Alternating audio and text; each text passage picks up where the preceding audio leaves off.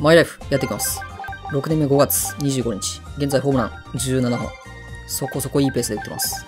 ただ5月まだ1本しか打ててないんで、デートいきます。元宮春さん。もしもし。一回遊園地行きますか。前、お化け屋敷行ったんで、ジェットコースター。こんなに高いなんて、ちょっと予想外だったかも。最高地点3メートルの場所から一気に落下します。GO! 夜まで遊園地で遊んで、この後、普通に試合やります。これが知りながらのルーティン。ここでやらねばおダルビッシュさんと初対決。40歳で防御率2.59。4勝1敗。レジェンドすぎる。しかも全然能力衰えてませんね。球速はまあちょっと140台になりましたけど。やってくれる通算100本まであと1なんですけど。そろそろ打ちたいですね。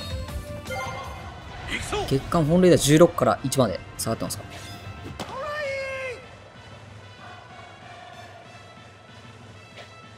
捉えたぞ ?OK! そのスローカーブはもう見切りました。結果を出したぞシリナガ選手、通算100本塁打達成。おめでとうございます。ありがとうございます。通算100本目達成できました。シリナグラと申します。よろしくお願いします。オールスターファン投票、清き一票、お願いします。まさか通算100本目をレジェンドであるダルビッシュさんから打てるとは思ってもいませんでした。初対決でしかも2打席目にスローカーブを見切って完璧にレフト方向に捉え、運んでいくことができました。非常に良かったです。そして、まだまだ私は100本でとどまらずに、今後も200本、300本、王さんを超えるまで打っていこうと思います。よろしくお願いします。そして、現在、私、彼女を募集中で、吉田さん5回に失点。野村さん決勝スリーラン。ナイス。お特殊能力パワーヒッターを獲得。こんなん取ってしまったらもう終わりです。パワーヒッターになった。すなわち最強。OK。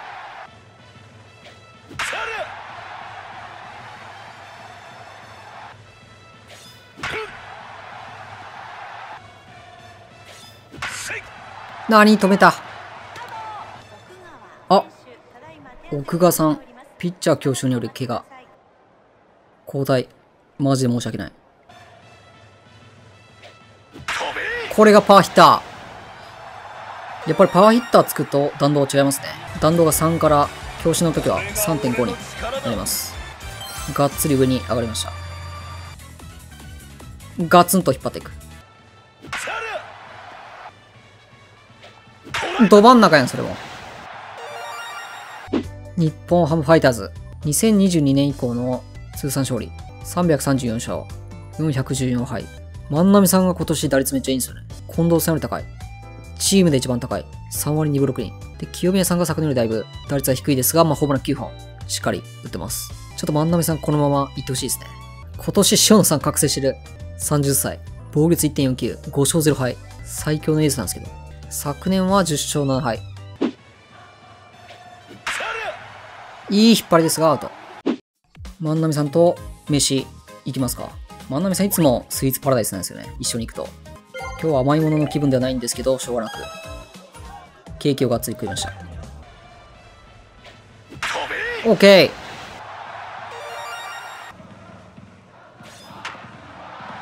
アフロ二遊間を抜いていく。ナイスバッテン。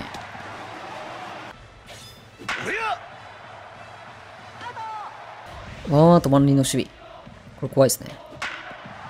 うわ、センター返し。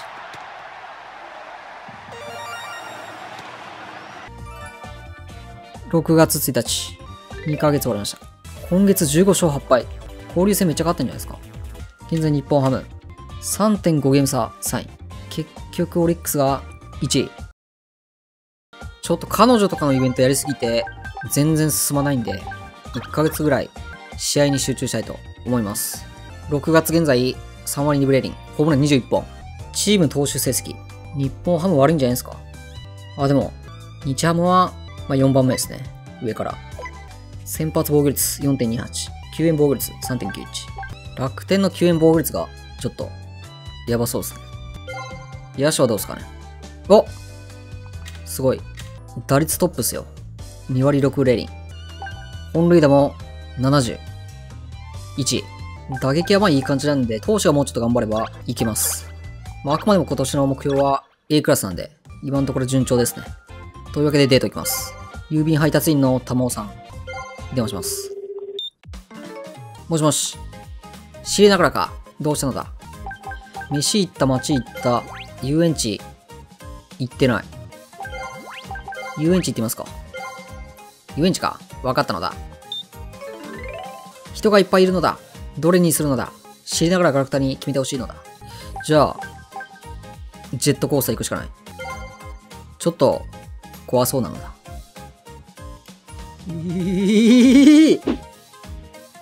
でも知りながらと観覧車に2人で乗る方が怖いのだ。ジェットコースターでいいのだ。ガタンゴトン。た、高すぎないか？こんなところから落ちたら。大丈夫です。知りながらがクッションになるんで。ゴー早すぎなのだ。知りながらが隣にいなかったら大変なことになっていたのだ。楽しい遊園地でした。玉尾さんちょうど狐なんで、日本ハムでちょっとダンス踊りませんか？すぐなんか人気になりそうですよね。昨年セリーグ1位の相手の阪神のスタメン。1番、西川。2番、佐藤輝明。すでに14本打ってます。3番、アリットセン。4番、グラント。右投げ左打ち。バースの再来。5番、セッパーツヌの。6番、大山。2割6分7厘。ホームラン11本。7番、高橋由伸。3割4分9厘。8番、中野。9番、糸原。これはいい広角のホームラン。6月1本目。大山さんいいバッティング。ショート、こいつは守備はうまい。うまっこの二遊間最強。キャンプの成果が出てます。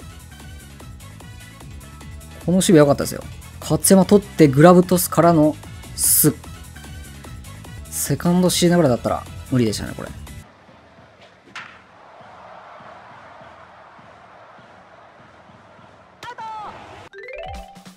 尻ながら選手へ手紙来ました。私は尻ながら選手の大ファンです。私は尻ながら選手にオールスターに選ばれてほしくて毎日投票します。ありがとうございます。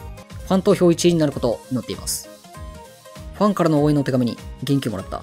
この方はなんかマッサージとかやってるらしいんで、今度店に行ってみようと思います。ありがとうございます。飛べ OK。嫉妬破壊王子。逆転満塁ホームラン。飛距離157メーター。あれヒーロー、近藤さんなんですけど。逆転満塁ホームランちょっと評価してほしいですけどね。打ったの9回っすよ。ちょっとなんか、納得がいかない。こいつにヒーローインタビューすると無理やり1時間ぐらい喋るんで、ヒーローにしてもらえません。あと、打ったのが嫉妬だったんで、それもちょっとダメだったんですかね。9回の満塁ホルダー、いいことだった。最高の結果を残してくれたな。あざっす。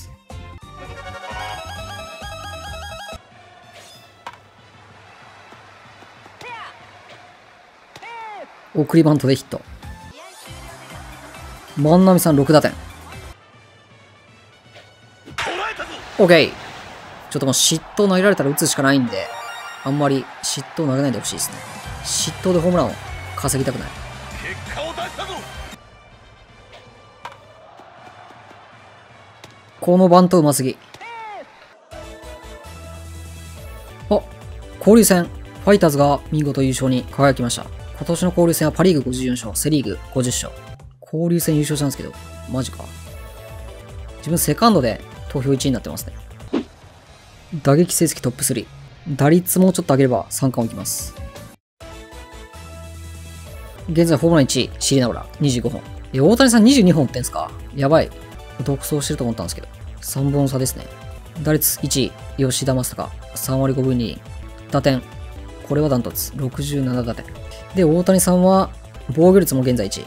大谷さん二刀流、最強すぎる。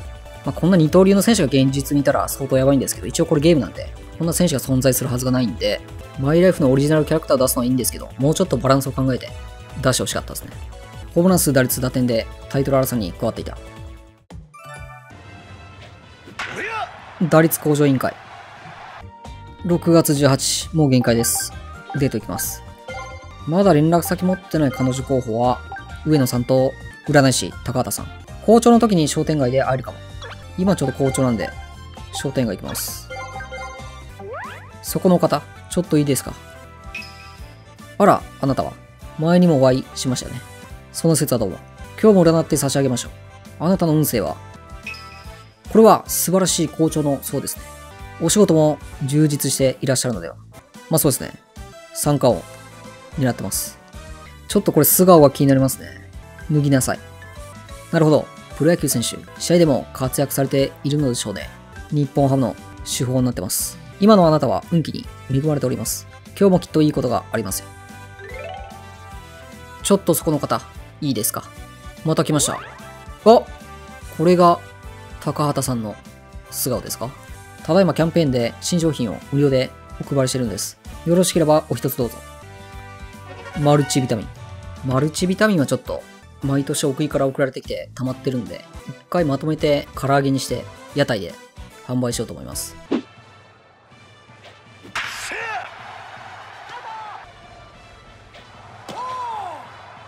おっそもう一回商店街行きます。そこの方、ちょっといいですか？こんばんは。またお会いしましたね。今日もあなたの運勢を占いましょう。お願いします。では、お顔をよく見せてください。いけませんね。大変不吉なそうです。このままでは良くないことが起きるでしょう。明日死にます。この水晶、そして水を買っていただければ治るでしょう。お値段348万円。買います。ですがご安心ください。私は運命を変える方法も知っています。このいきなり調子アップキャンディーを手にすれば、不運から逃れることができるでしょう。お題は結構ですよ。今日100人目のお客様なので、その記念です。いきなり調子アップキャンディー。すいません。他人から渡されたものは食わない主義なんで、捨てますね。高畑さん次は、商店街。高畑さんずっと商店街いるんですけど。もう絶好調の時ミートがでかすぎて、余裕で打てる。と言ってもこの6月まだホームラン4本しか出てません。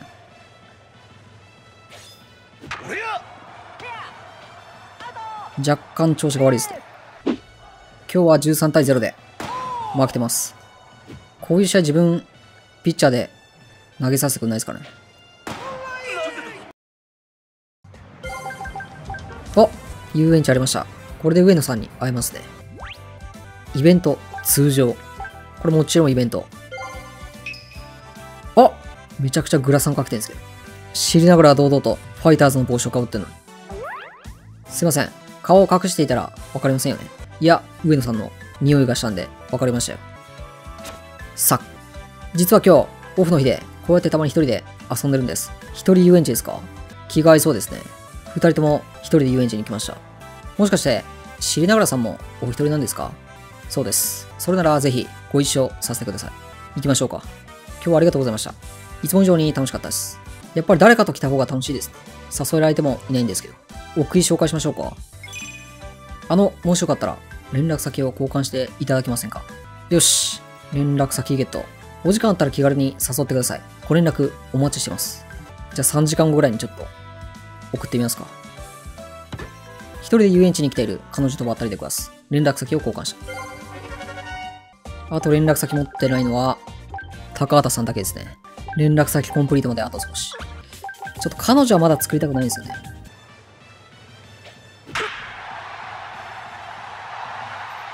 OK。6月5本目。来た怖い。どこ？ここ。捕らえたぞ OK! ナイスバッテン。やはりストレート。飛べ OK! ストレートキラー。久々の1試合2本。6月の日本ハム、9勝14敗。めっちゃ負けてますね。7月1日、現在、日本ハム4位に下がってます。10.5ゲーム差。知りながら2割9分7厘、28本。知りながら万歳、15本。勝山と麻雀でもやりますかもしもし。こいつ最近調子乗ってサングラスしてるんですよね。あ、知りながらか。麻雀か。すまん。仕方がないんで、ジャン玉しました。というわけで7月やっていきます。今月はまあ打率を上げます。がっつり。ナイス。吉田さん全然打率落ちてないんですけど。3割4分8厘。大谷さんは24本。大谷さんとほぼ一緒ですね、自分。まあ、打点王は硬いんじゃないですか。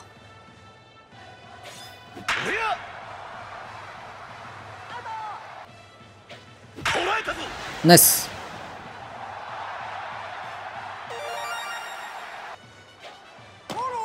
フォアボール。珍しい。昨年打率が2割8分5厘ぐらいで、で、出塁率が2割8分7厘だったんですよ。フォアボールがほとんどありません。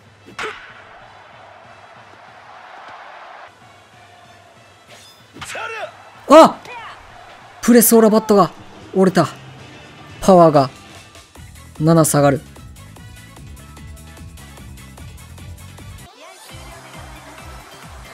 塩野光一、1安打完封勝利？強すぎないですか？めちゃくちゃ惜しいんですけど。それでは、デート、いきます。もしもし。今泉ドルパー北九州。こいつは今年ドライチの見込みのあるキャッチャーです。自分に対して非常に強い憧れを持っており、何でも言うことを聞きます。最高の射程ですね。もしもし。ああ、知りながらさんですか。飯行こうぜ。お前に拒否権ねえかな。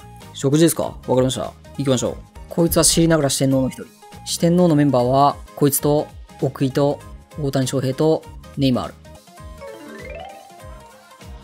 今泉ドルパー北九州と食事をした。今泉ドルパー北九州に飯をおごった。あざーす声クソほどでかいですね。こいつの叫び声を近くで聞くと、鼓膜が一瞬で破壊されるんですけど、知りながらとっくに鼓膜が破壊されてるんで、近くで叫ばれても大丈夫です。今泉の能力はこんな感じですね。ミート E パワー D、ソウル F、肩 A、肩が異常に強い。流し打ちフォーム刺繍三振。さあ試合、頑張っていきましょう。今日の先発は、悲劇的金的覚醒ポニョ。0勝3敗。プロ3年目でここまで上がってきました。こいつは四天王オーディション最終選考まで残ったんですけど、ギリギリ外れましたね。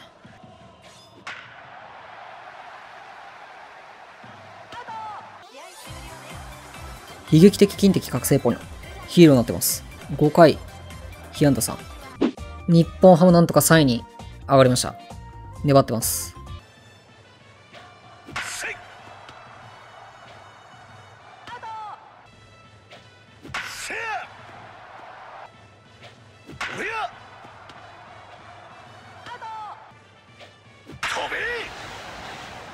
あれ？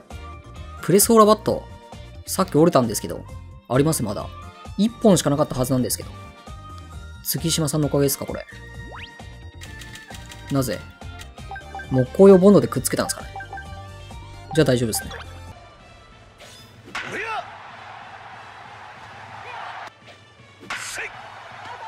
さあ、ようやく休日つきました。最近ハマってる麻雀みんなでやりましょう。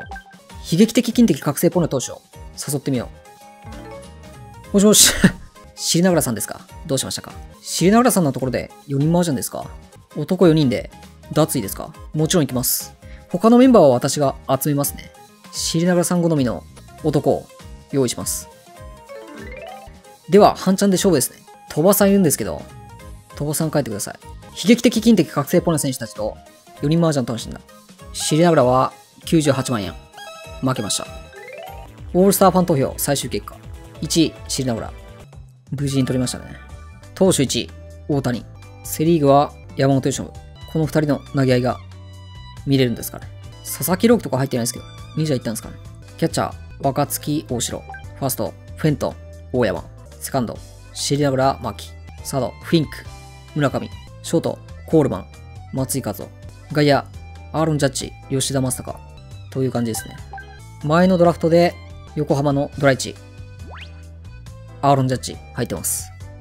ペナントでも登場させたんですけど、マイライフにも参戦します。3割12本、46打点、23歳。ちょっとセリーグ行っちゃいましたね。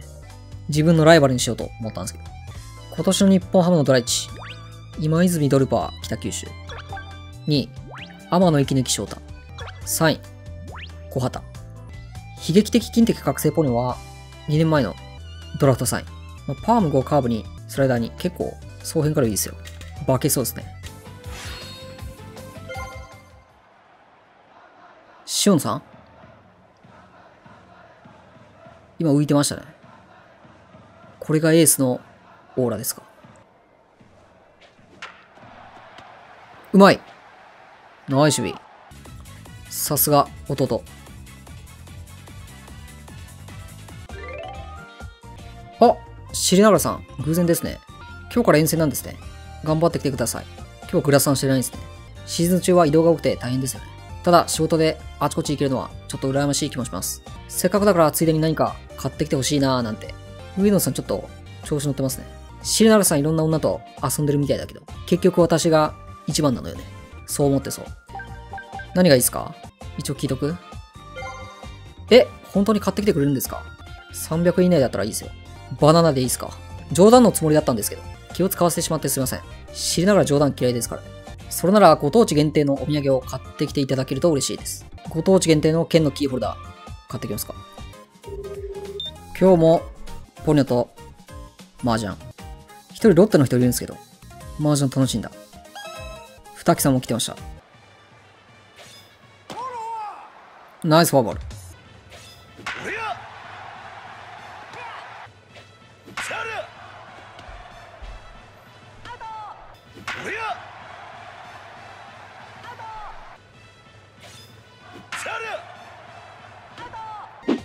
占い師の連絡先も欲しいです。これで取れるんじゃないですかあら、こんばんは。は？素顔が。明らかに。付き合わなくても見れるんですね。ああ、これは失礼しました。以前お会いした占い師です。非常にいいですね。気づかなくても仕方ありませんよね。あの服、顔が隠れていますし。そういえば名乗っていませんでしたね。高畑愛と申します。知りながらさんとおっしゃるんですね。こうして偶然お会いするなんて、あなたとは何か運命のようなものを感じます。もしよければ連絡先を交換しませんか？自分も愛さんに非常に運命を感じていました。自分のこの初ホームランボールを推奨代わりに使ってもらえませんか？高畑愛の連絡先を手に入れた。これで全員の連絡先をゲットしました。彼女候補たちの連絡先をいろんな人に売ります。オークションに出しますね。誰が一番値段が上がりますかね？まあ、やっぱ上野さんが一番上がりそうです。有名人なんで。はい。というわけでまあ、現在3割30本。今年の目標である40本超えは達成できそうな感じでいってます。チームは現在11.5ゲーム差のに E クラスいけそうですね。この辺で終わっていきます。お疲れ様でした。